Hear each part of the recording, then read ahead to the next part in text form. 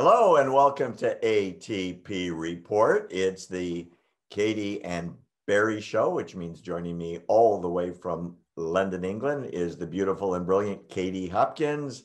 Welcome back, Katie. Oh, thank you so much, Barry. And as I like to dutifully remind our lovely family, if they want to see more of us straight to their phones, they can text the word truth, T R U T H, to the numbers 88202, and they will get you straight into their pocket. Who wouldn't want that, Barry? Well, and they get you too, hon. Oh, yeah. uh, incredible news out of uh, Customs and Border Patrol, uh, Border Protection officials, rather. They're suggesting now that there are up to 13,000 unaccompanied minors on their way into the United States. They say it's the highest, get this, numbers in the history of the United States, the highest numbers of migrant children sent north with no parents, which means the United States will let them in, will shelter them, will feed them, will educate them, and maybe unite them with their families. But the word is out all over Central and South America, Katie Hopkins. Send your kids and we'll take care of them for free. I mean, there's just two awful sides to it, aren't there? There's the awfulness of people sending kids, you know, like a fishing line, fishing out with their kids in the hope that they can reel in that line later, knowing that some of the worst things humanity has on offer can happen to those children. None of us want that. We wouldn't want it for our kids and we don't want it for anyone else's. And then there's just the sheer volume of this. You know, Biden can't have any of this with media coverage at all. And you're completely right, I think, Barry, aren't you? That they will just be funneled through, let them in, keep processing them through, anything to avoid any of the negativity that Trump had to face about the cages that weren't even his in the first place.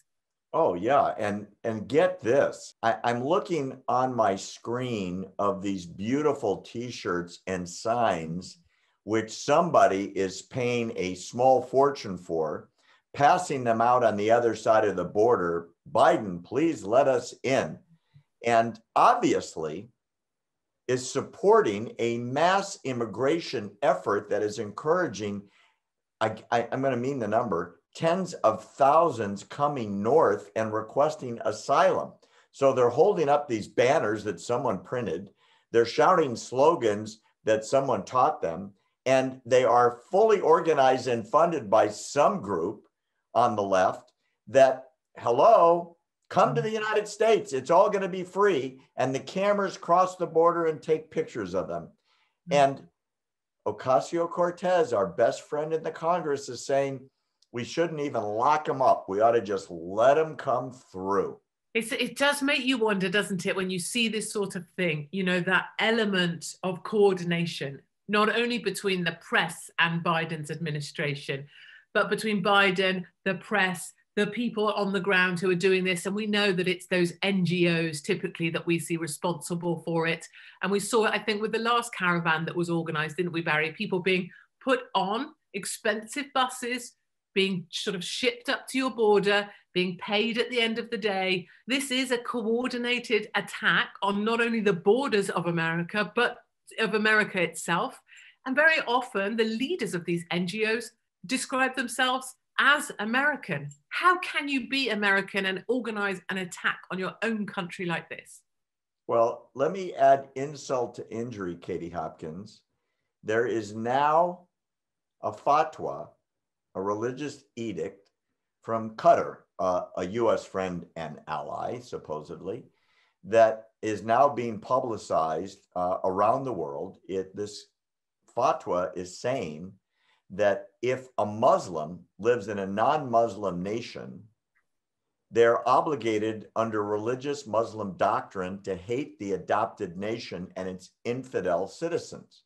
So, if any of those tens of thousands coming north are practicing Muslims, they're obligated by religious edict to hate their hosts, take the gifts the host gives you, and hate them so that when the time comes, you, the good Muslim immigrant, can rise up and participate in the takeover of the host country. In the meantime, free food, free shelter, free health care, maybe employment, but you must show your love and fidelity to your native religion, which is Islam.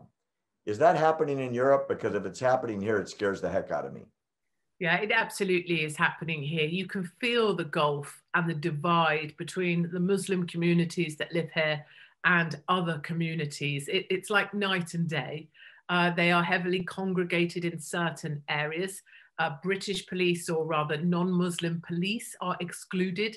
The imam gets to choose who's allowed to police the area. You know, I'm just giving that as an example of the separation. They have no wish to be part of Western culture because they hate it. Um, and one of the recent surveys of British Muslims um, showed that I think it was 52% thought homosexuality should be illegal, and over 100,000 British Muslims sympathised with suicide bombers. One in three British Muslims said they would not report a family member to the police if they thought he was going to commit an act of terror.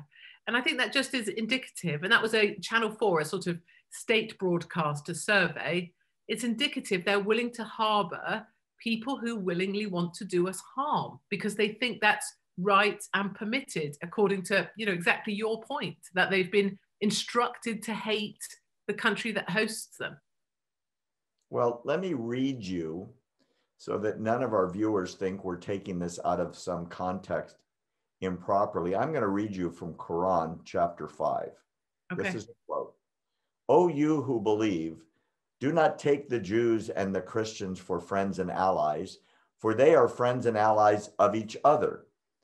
And whoever among you befriends them is from among them. Allah does not guide the unjust people. So the that's an unquote. The the religious edict is based on that, which says don't befriend your hosts if they're not Muslims, because they are the unjust people. You can take their stuff until the time comes where you can install religious government. And the religious government they're talking about in the Quran, obviously, is Islam. And, and there's places, of course, you can feel that coming. You know, we already have courts that are run by the um, mosque. We already have that level of, of complete separation, housing, homes, schools. Uh, as part of this survey that we were just talking about, Barry, one of the questions, I don't even get the question, but it, 35% of British Muslims think Jewish people have too much power. Uh, I don't even think about who's got the power in terms of religion. You know, what is with that weird hatred of, you know, the other, this idea you have to hate Christians, you have to hate Jewish people. It's not something that comes naturally to a British national, but it certainly comes natural to this other population we host here. Well, if your Bible and you believed in your Bible said, hate Muslims, never trust Muslims, pretend to be nice to them until you can conquer them. Well, if you were a religious lady and you were observant, that's what you would do. Well, the roles are reversed, and that's exactly what the book says. So mm-hmm. here's my question for you all of Europe has taken in a profound number of immigrants uh, under the guise of saving them in the name of humanity. What's going on in Europe? Are these immigrants assimilating and becoming good Frenchmen, Englishmen, Swedes, Germans? Are the refugees just taking support, going on the dole, and hating their adopted countries, as we just talked about?